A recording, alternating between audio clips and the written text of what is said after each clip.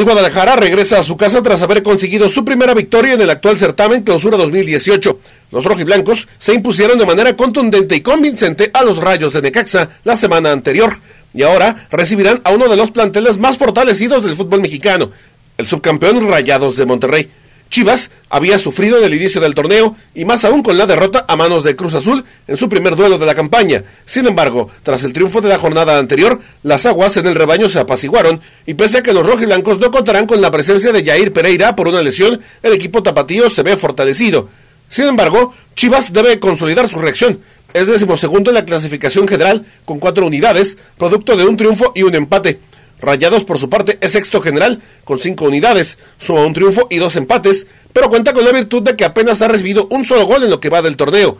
El fin de semana volvieron a padecer el mal de los penaltis fallados, pues tuvieron en sus manos en casa el triunfo ante Cholos de Tijuana y Avilés Hurtado volvió a desperdiciar la oportunidad.